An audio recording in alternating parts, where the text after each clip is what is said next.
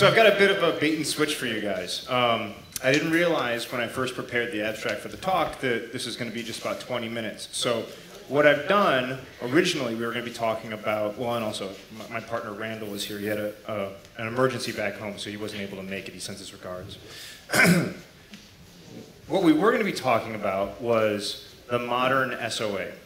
Um, what we're going to focus on is basically a set of SOA anti-patterns that we've seen out in the wild.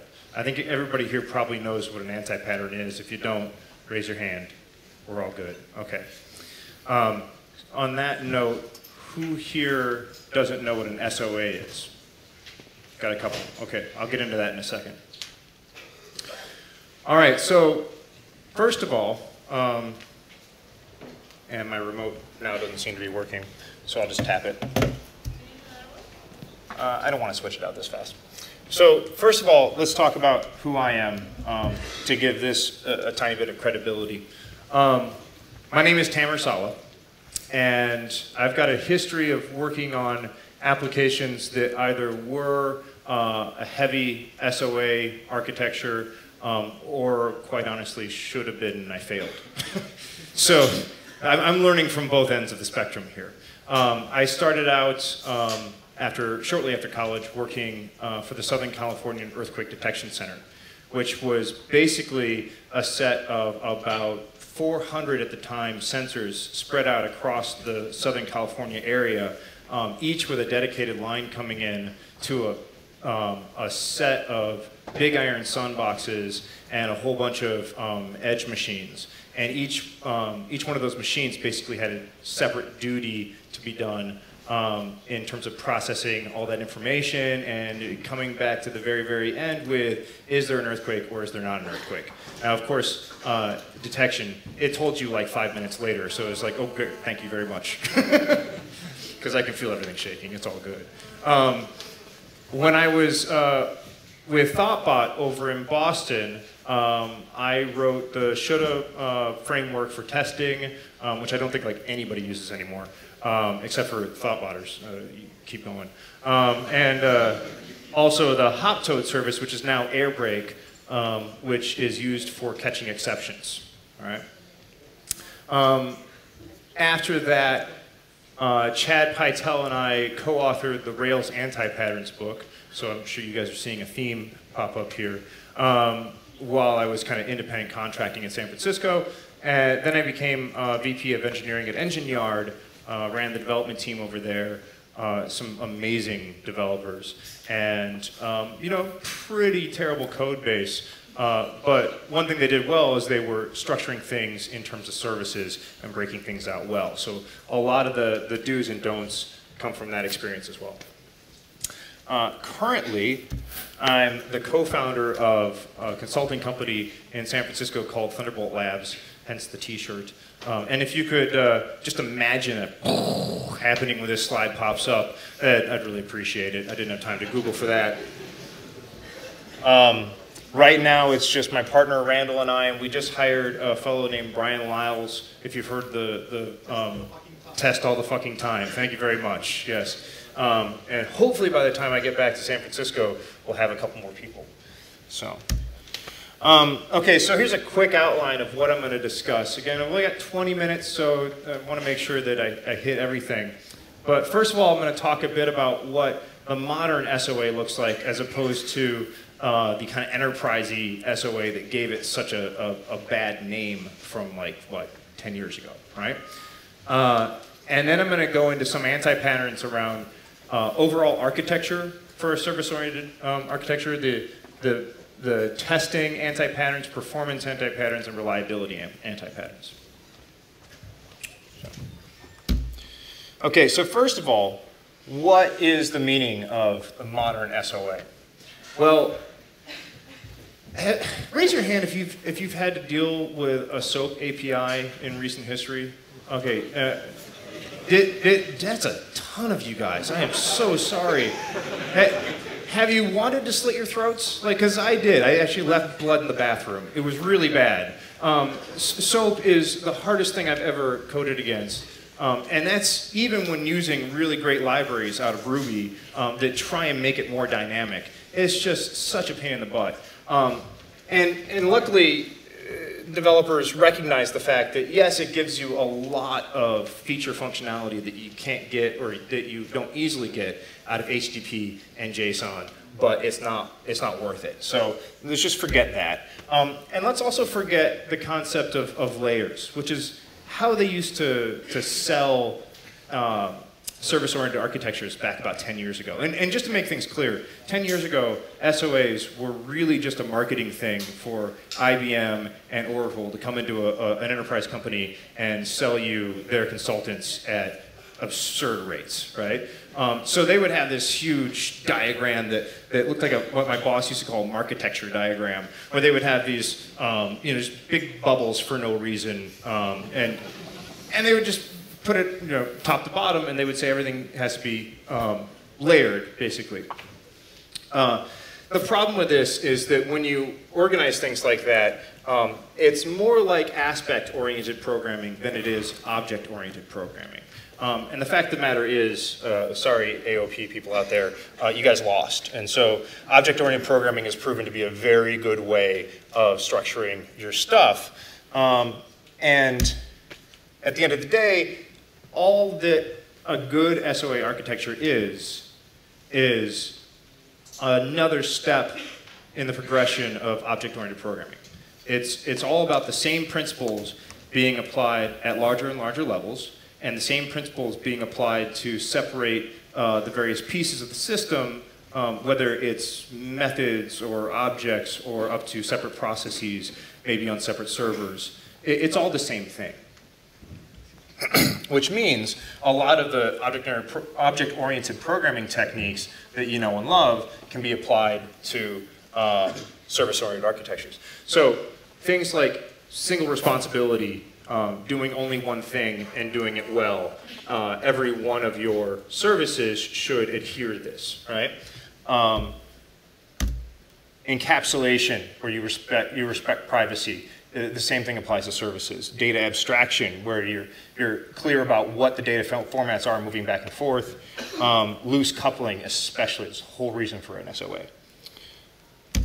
Um, the only caveat, and, and this actually was, was really hit home very well by the presentation just two before me, is that in a service-oriented uh, architecture, you cannot think about performance uh, later.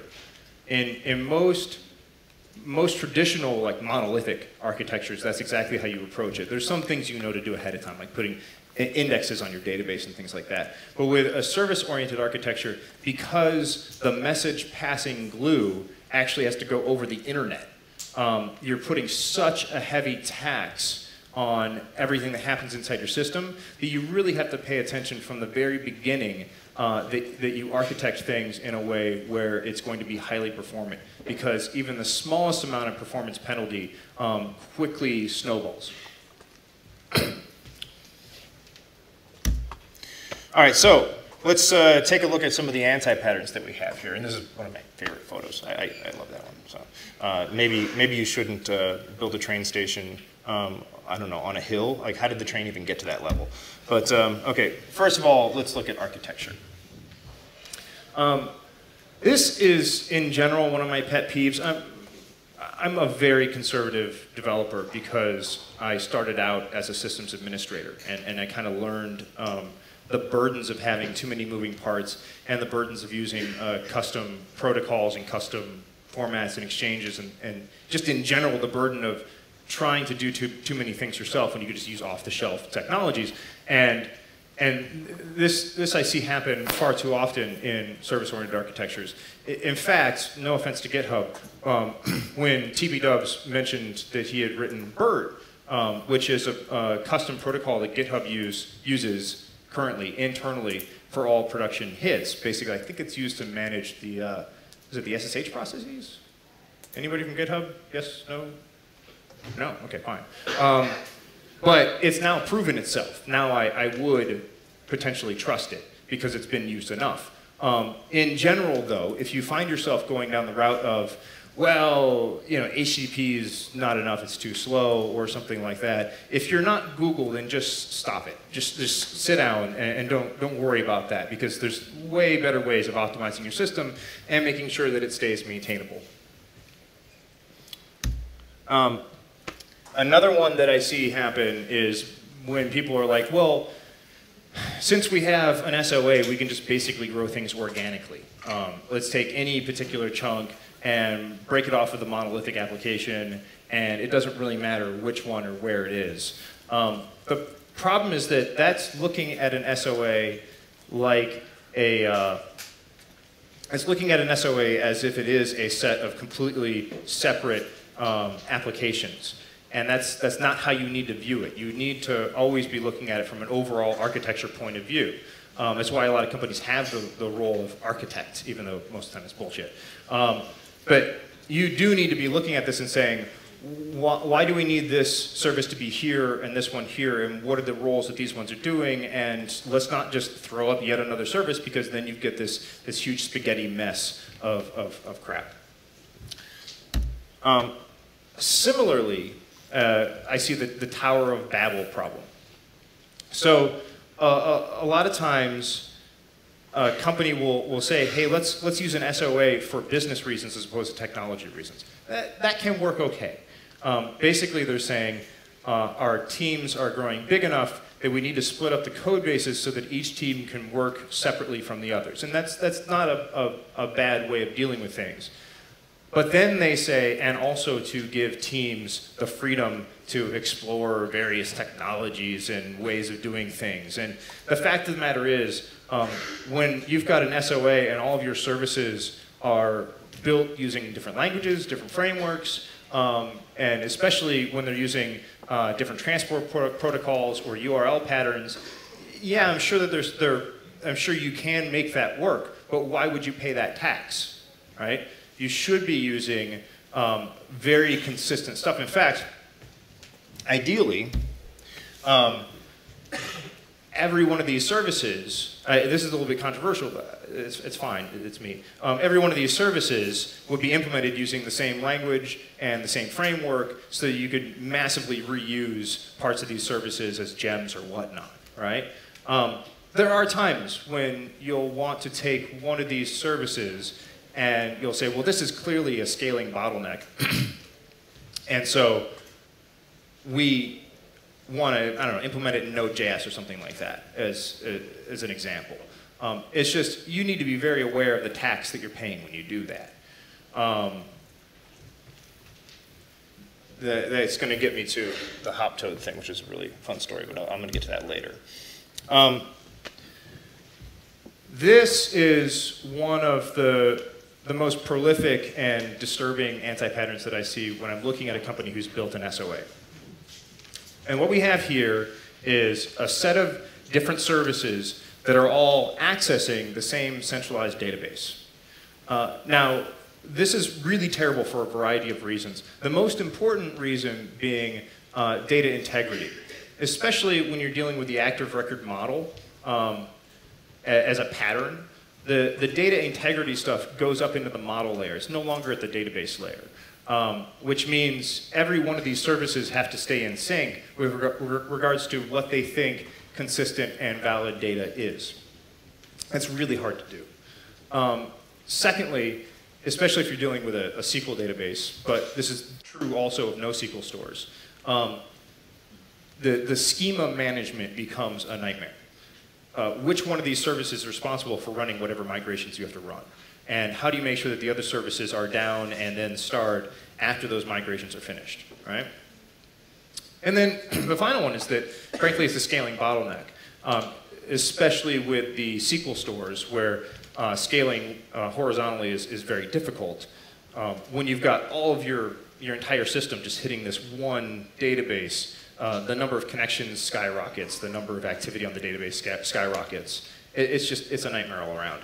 What should be happening is every one of these services should have ju the, just the data store they need um, to do their job, and they communicate to other services for those stores. Now, a very similar anti-pattern um, is what I call Grand Central API, where yes, now we've taken this, this database and we put a service around it, that's good. We've gotten rid of a lot of the data integrity issues, and we're no longer violating the object-oriented encapsulation problem, right? We're no longer go going behind somebody else's back to access data. But we do have super tight coupling at this point. And in general, it's a smell that you weren't really architecting your system. You were maybe extracting from a monolithic app, and this is just how things ended up. Um, we had something like this um, at Engine Yard, where we were building a system um, where this basically was the data store for all of the instances that run out in the cloud, and every one of these services would eventually have to ping into this system to get its data and do its stuff. So you can imagine that now you're tightly coupled there, and just like with, with regular software development, that's a problem. Um, keeping the versions in check and everything like that. Um, the single point of failure, you're not going to have nice, slowly degrading. Uh, it's not going to it's not going to degrade gracefully when something goes down, especially the middle one. All right, let's talk about some of the testing anti-patterns. Um, you know, I'm, I'm huge on testing. Like, I, I spent a lot of time talking and thinking and writing about how to do good test-driven development. Um, my ideas change all the time, everybody's does. But one thing that really gets me every time is when I talk to somebody who's heavy into mocking. Who, who here, actually, raise your hands if you do test-driven development. Okay, not bad, but half. And who here thinks that they do uh, heavy mocking? Uh, who doesn't know what I mean by that? Okay, so um, heavy mocking is fine as long as you also surround it by integration tests. And this is on any regular application, right? Um, when, when you do heavy mocking, you're saying, um, I as an object, what, what's your name? What's your name? sorry. Sergey. Um, I'm, so, I'm sorry. I, I'm saying I, as an object, Tammer, know how Sergey's going to respond when I talk to him right? And so I'm just gonna, I don't even want to hear from you. I'm just gonna pretend that he answers the way I expect, right? And he's gonna do the same thing to me. And that's fine as long as at least once in a while we actually have a conversation to make sure we speak the same language, right? Um, and that's basically the analogy for, for heavy mocking versus integration tests. It's not a versus, you need them both, right? Now, when you're talking about an SOA, especially when you have separate teams who are running each of these pieces, it's very tempting for them to say, okay, well, we're just going to mock out the, uh, the other services and basically never do an end-to-end -end test. And, and you absolutely need that because you're adding so much complexity, so many gears in, in the way, um, especially at the network layer, that without end-to-end -end tests, um, you're just you're screaming for a failure in production. Um, Another one is boutique mocking. now what this is, is when a team hasn't really spent time thinking about how they're going to glue their services together at every, at every level, not just when they're running in production, but also when you're developing them. You'll find that the teams start uh, putting their own mocks into place on every one of their services. Maybe using fake, uh, FakeWeb, maybe using um, Artifice, something else. Um, but they, they build each one of these by hand, and it seems fine when you only got two or three services. The more the services go up, the bigger the problem it is. and then you really hit problems when the services start changing, and you have to go to each one of these applications and find the way that they mocked it and fix those mocks to match the new, servers, the new services API, right? Um, one of my developers at Engine Yard, uh, Andrew Delcambre, he spoke in Japan about uh, the way that we do, or the way that they do this at Engine Yard. It's really beautiful. What it is is when I'm writing the service, I start by writing the client-side gem that will consume that service. Then I write, I test drive this service through the gem. So the gem is the only entry point into the service. I don't go behind its back and test drive it via I do it through the gem. Then I have a mocked mode and an unmocked mode for that gem. I can turn the gem on to mocked mode, run those same tests. They don't hit the real service, they hit the mocked version of the service, and I've validated the fact that that gem works correctly. CI, continual integration, um, runs both mocked and unmocked all the time. So now, when I'm using that service, when I'm using Sergey's service, I've got the Sergey gem. I know that in my test, I can flip Sergey to mocked mode, and I can trust that it actually behaves, it speaks the same language that Sergey does, because he's validated that for me. It's a really beautiful pattern. It works really well. Um, and they, they use uh, Artifice uh, in order to hook the, uh, the mocked version up to the, the, the gem uh, at the rack level. It's, it's very interesting. You should Google it. Um, I could have put it here, but I'm lazy. so, so that's the, the, the solution to that anti-pattern. Um, okay, now let's look at some of the performance anti-patterns that we've seen. Uh, the biggest one is lack of caching. Uh, even adding memoization uh, at the, the, the, simplest kind of caching possible is a huge win when you're dealing with SOAs. Like I said, in an SOA, you need to be aware of performance all the time. Um, there's a whole slew of other ways you can do caching, especially in a Rails application, for example. Um, DHH uh, wrote a couple of good blog posts recently about the new Basecamp and how they made it so snappy. Who here has used the new Basecamp? Okay. Is, is, is it just fast as shit, isn't it? I mean, it's just really incredible. It's like, it, it's actually flipping pages before I click. It's, it's really phenomenal. Um, and they do this all through this, this consistent hierarchy of cache fragments um, sitting in this $20,000 Memcache server um, with automatically uh, they don't have to they don't have to mark anything as stale in the cache. It just automatically throws out the old ones, and they're all done by timestamp and uses the touch thing and the associations. It's really a beautiful machine. Now, that's for a, a customer like a, a, a human-facing application where the, the, fragments are HTML, but the same kind of techniques apply when you're talking about JSON uh, caching and that sort of thing. Um, and, and, you can do caching at, at, almost every layer. It's, it's really important and fundamental. It's you can view caching with uh, an SOA as fundamental as database indexes on a regular application. Result takes as long as the, or barely longer than the longest running request response from the API in the back end. So if you're doing, if you're doing a heavy SOA, you're doing lots of hits to various APIs in the back end, that's the way you have to do it. Um, Paul Dix had a library that I can never remember the name of, Ty Typhoeus? Typhoeus, yeah, uh, which basically did this same pattern. It was a little bit more um, involved because you had to explicitly say, these are the groups of requests that I want to do, launch them off, and then later I'll ask for them back. and also, as, as, I understand it, I think, I think it might not be maintained anymore. I think he might have stopped using it. Um, but it's the same kind of thing. Now, the issue, of course, is that um, you have to do this uh, using threads, so um, now you've got some issues with Rails and threads. I've been told that it's not such a bad thing anymore. Um, the library that most people use nowadays for doing futures is Celluloid. Um, I think he just announced that DCell is now um, production ready. DCell is a distributed celluloid. Some interesting things you can do with that. Um, so it can run on multiple things. But basically, Celluloid is just a, a actor concurrency library uh, that wraps threads for Ruby. Um, and then, you know, since we're talking, say, uh, since we're talking about multi-threading, uh, JRuby and Rubinius immediately come into the conversation. All right. Um, this is the other huge one that we see in general, um, is that it's kind of, it's very related to the last one, but this in particular we're talking about within a request response, right?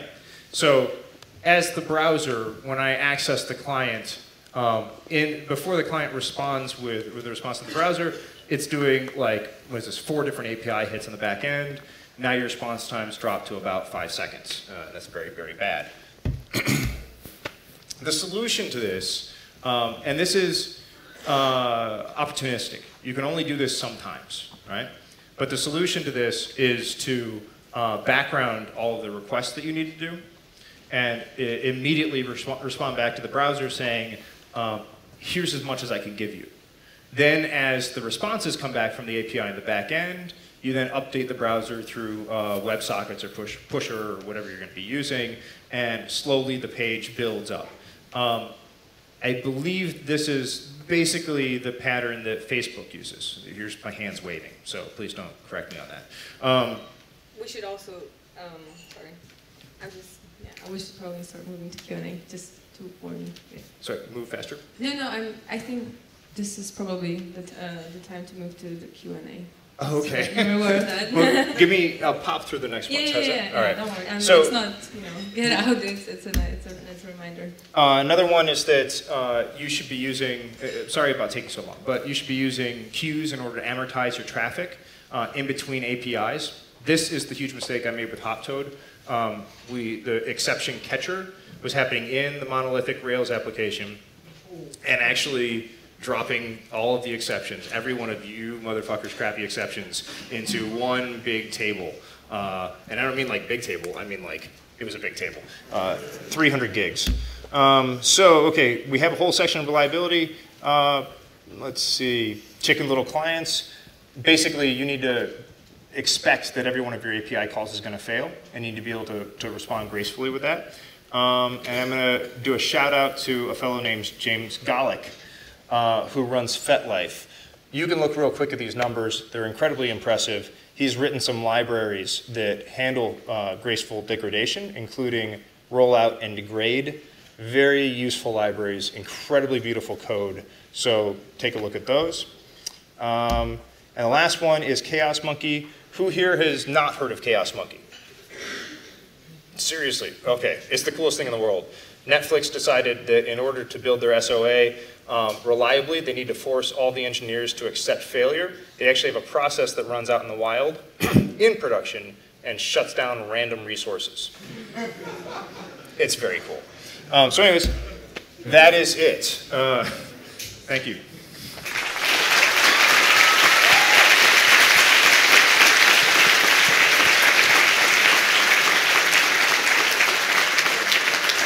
Sorry about that. Um, do we have any questions? Nobody's going to call me out on anything. I love it. My question is about uh, authenticated services. Uh, um, do you have any experience with them, or uh, could you share some, some uh, recommendations when uh, your APIs really rely on one central place where you authenticate uh, all, uh, all users or users of the clients? Yeah, user authentication is the place where most of the time I do see, that, that's the place where I, I, you, you see that Grand Central Station pattern, and I don't know of a good way of getting out of it, frankly. So I, I'm afraid that I don't. Um, uh,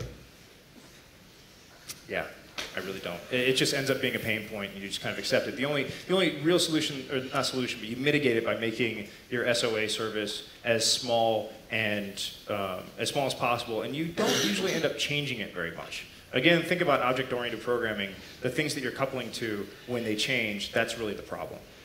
Do we have time for any more questions? Um, I think there was one more question here, right? Ah, Okay. Any others? So, what is wrong with aspect-oriented programming? Uh, other than Tammer likes to be an asshole, not much. uh, no, I think it, it's just that um, it, it, from, from my point of view, it's a harder paradigm to visualize. I'm a very visual thinker. Um, and so when I'm developing, like I'm, like, again, I'm, I'm super conservative. So I like to be the worst programmer I can um, because that means that I have to write code that even I can understand, if, if that makes sense. And for me, object-oriented development, um, it just immediately made sense. In fact, I, I realized when I learned it that I was already doing it when I was writing code in Turbo Pascal, um, but without actually using objects. It was really ugly. Um, aspect-oriented programming to me is just, it's just a harder paradigm to understand. Anything else? No, don't let him answer the question. I'm just kidding. all right, all right, Miss Love. What do you, Okay, what do so you the have? final, the final question, Miss Love. So, uh, just quickly, what do you recommend for um, learning more and about uh, gracefully handling like um, errors, uh, failed services, and that. Because I feel, I personally, I feel like I'm, I'm, I'm weak in this area. And you mentioned James Golick, right, and his work. So Yeah, James? Golick's work is really great. Um, I I have to be honest. I I haven't learned most of my stuff from books. I've learned it from the wild and from blog posts about people who run s- systems much larger than anything I've ever worked on. So I'm huge fans of, for example, uh, Etsy's blog and uh, Instapaper before they got bought, uh, and uh, everything James Golick writes about. Um, and they usually write about real world situations and how they tackle them. Now, sometimes it ends up being a little bit more of uh, marketing than informational, and I, that is a problem. Um, the other book that, that I've gotten about halfway through and I've been enjoying so far is uh, the Patterns of Enterprise Application Development. I think I'm saying that right? Yeah. Yeah, that, that Martin Fowler, that's a, that's a great book, but it's a little bit more enterprisey and less about, I think the, the second half is going to get more into services. All right, is that, was that the last question? Yes, um, somebody really has to ask theirs. Burning question? You No? can probably also, ca- they can probably, like, everybody can catch you I'm not going later, to talk to anybody after this. No. So that's it. That's it. everything is, yeah. All right, well, thank you very Thank much. you, Thank- thank you.